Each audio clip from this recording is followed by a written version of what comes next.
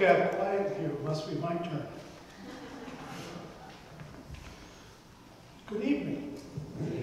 Um, You never know what uh, Holy Week uh, attendance is going to be like, and uh, weather always has a great part to play in that, I guess. And so, uh, we've got just the few faithful tonight, but that's okay because we're here to honor our Lord, and he said, whenever two or more are gathered in my name, and we're more than two. So, welcome. Uh, I don't have many announcements. Uh, you can see we came down to the 10 quilts that will be uh, used for the, the raffle, and we look forward to that. Um, other than that, I don't know much. We're going to be getting together again on Sunday for our Easter service, regular time, 9:30. If you'd like to join our ecumenical group, we'll be having an ecumenical Good Friday service at uh, ELC in Mount Horeb at 1 o'clock tomorrow. Other than that, any, anybody else have anything they want to? We should pray for all the trees and things that are left out there tonight. I was enjoying so much. Go- uh, Well, first of all, I had to, I was telling uh, Clover that in order to get out of here this afternoon to go home and grab some supper, I had to put my shoulder against the door in order to get out. It was blocked so hard, it wouldn't let me out. I'm going, hey, let me out. And then uh, saw some snow on the way home, which was always fun to do too. So, Hey, welcome to Wisconsin in April. huh? Okay, let's uh, begin our worship service. Let's stand and we'll begin with our call to worship as is written on page two in your bulletin. One last meal, one last promise. Behold the Lamb who takes away the sins of the world. Bread and wine, betrayal and blessing. Behold the Lamb who takes away the sins of the world. Sacrament preparing for sacrifice. Behold the Lamb who takes away the sins of the world. We turn to page 94 in the front of our hymnals, something that we don't do very often, but this is the um, setting one for Holy Communion, and I thought that confession and forgiveness for this evening would be appropriate. We gather this evening in the name of the Father, and of the Son, and of the Holy Spirit. Amen. Almighty God, to whom all hearts are open, all desires are known, and from whom no secrets are hid. Cleanse the thoughts of our hearts by the inspiration of your Holy Spirit, that we may perfectly love you and worthily magnify your holy name through Jesus Christ our Lord. Amen. Most merciful God, we confess that we are captive to sin and cannot free ourselves. We have sinned against you in thought, word, and deed, by what we have done and by what we have left undone. We have not loved you with our whole heart. We have not loved our neighbors as ourselves. For the sake of your Son, Jesus Christ, have mercy on us. Forgive us, renew us, and lead us, so that we may delight in your will and walk in your ways, to the glory of your holy name. Amen. God, who is rich in mercy, loved us even when we were dead in sin, and made us alive together with Christ. By grace you have been saved. In the name of Jesus Christ, your sins are forgiven. May Almighty God strengthen you with power through the Holy Spirit, that Christ may live in your hearts through faith. Amen. And we sing verses 1, 3, and 5 of hymn 349. Thank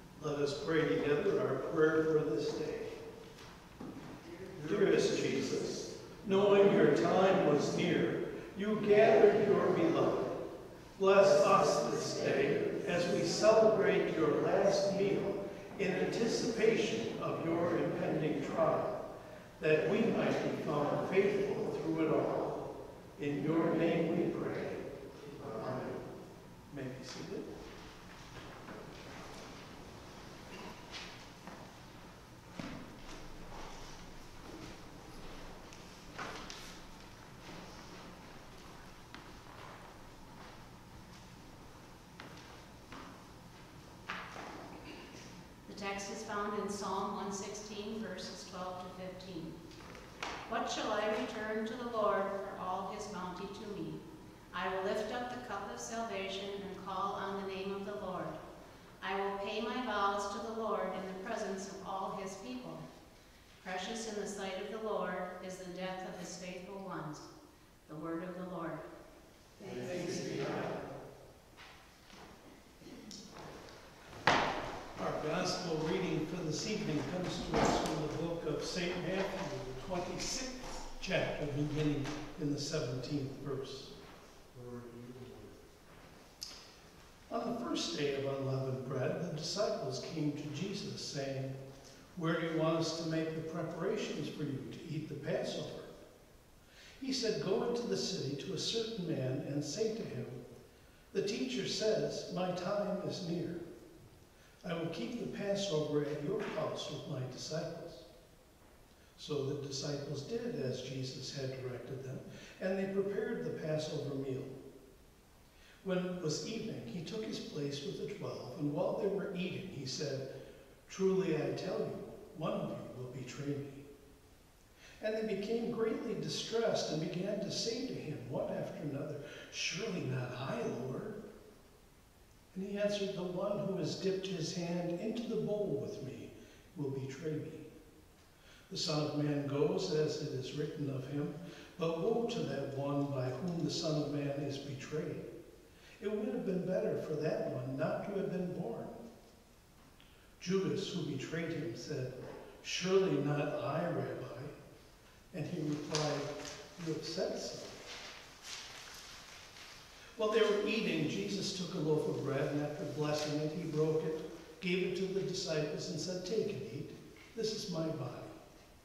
Then he took a cup, and after giving thanks, he gave it to them, saying, Drink from it, all of you. For this is my blood of the covenant, which is poured out for many for the forgiveness of sins. I tell you, I will never again drink of this fruit of the vine until that day when I drink it new with you in my Father's kingdom. When they had sung the hymn, they went out to the Mount of Olives. This is the gospel of the Lord. Praise you, You may be seated.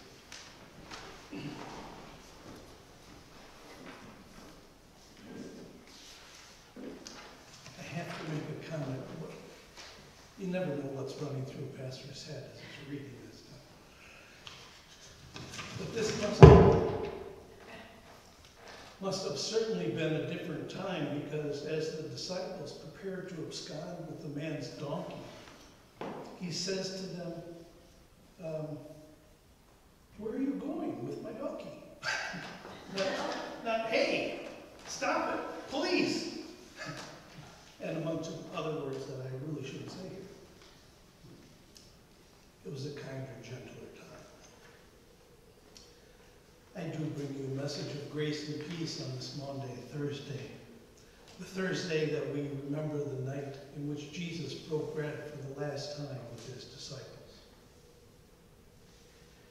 Stanley Saunders, was an assistant professor of New Testament at Columbia Theological Seminary, has written some wonderful words about this day, and I wanted to begin by sharing some of those with you. He writes, The Lord's table is the founding practice from which the church grew. Before there was church, there was table, where saints and sinners, disciples and outcasts, believers and betrayers gathered to remember to anticipate what is still to come, to embody together the restoring and unifying power of God. The Lord's table is living theater, the communal enactment unity amidst diversity, rooted in who God is and demonstrating where humankind and creation are to be headed. Because this is the definitive story of the church's foundational practice, it reaches both forward and backward into the story of Israel and into that of Jesus.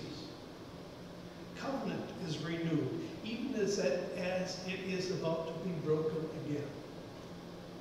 Betrayal, judgment, and the breaking of Jesus' community intertwine with promise, forgiveness, and hope.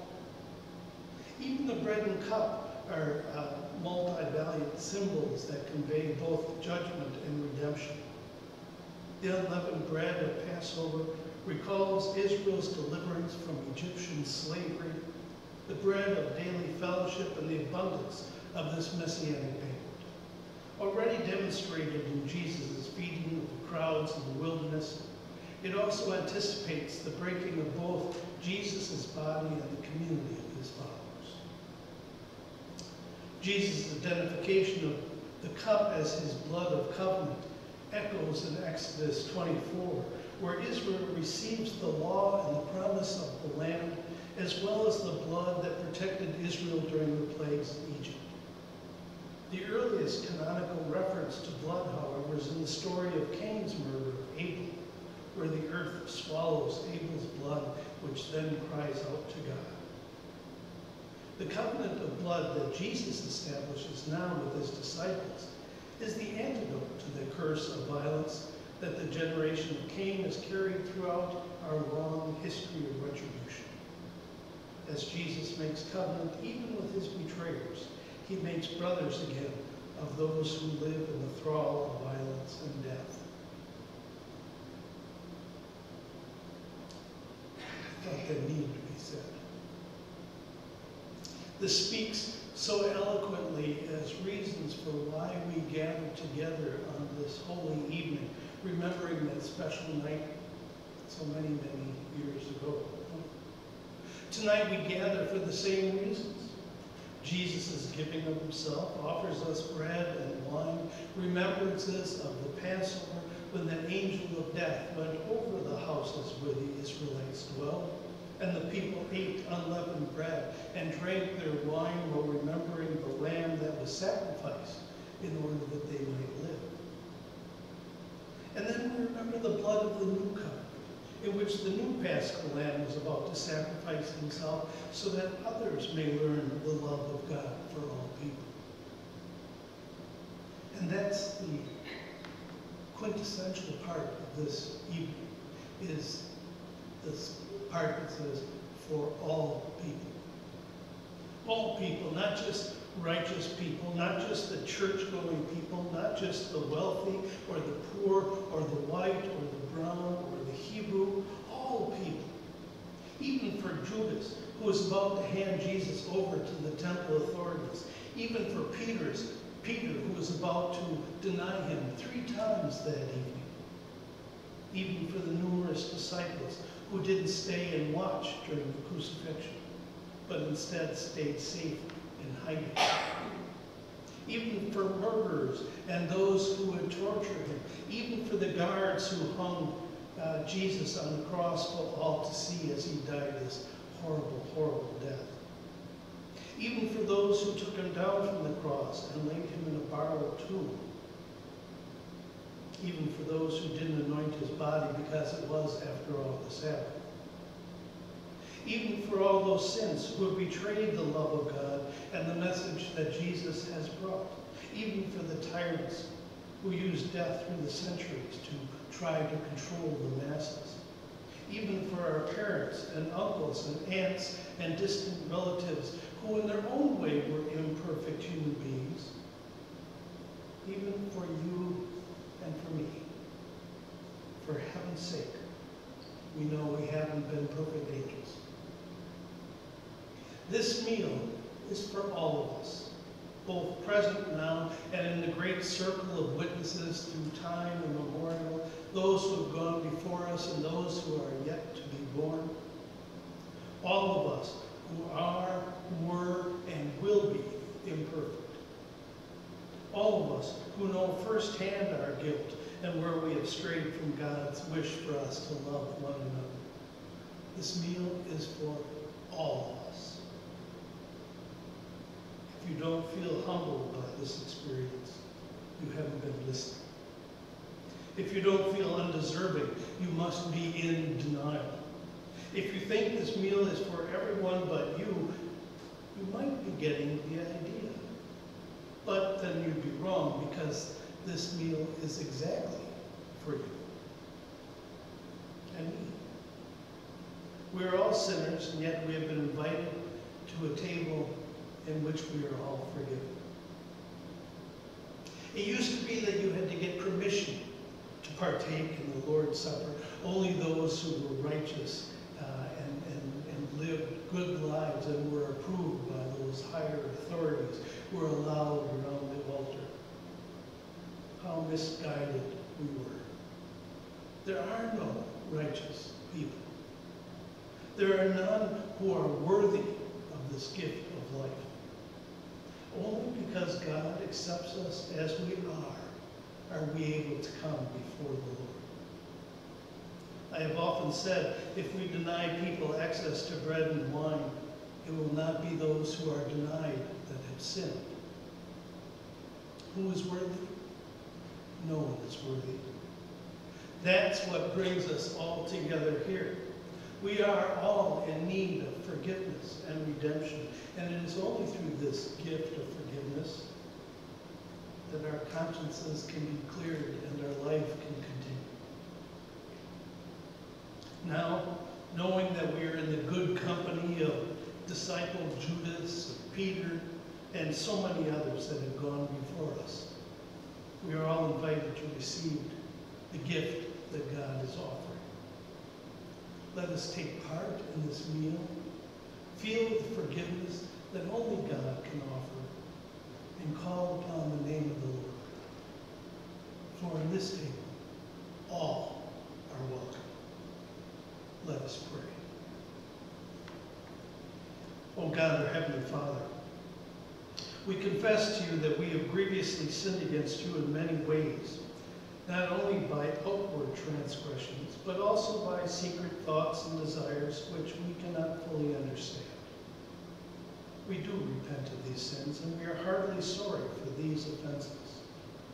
We ask you in your great goodness to have mercy upon us, and for the sake of your Son, Jesus Christ our Lord, to forgive our sins and heap your grace upon us. Amen. Let us sing hymn number 350, 350.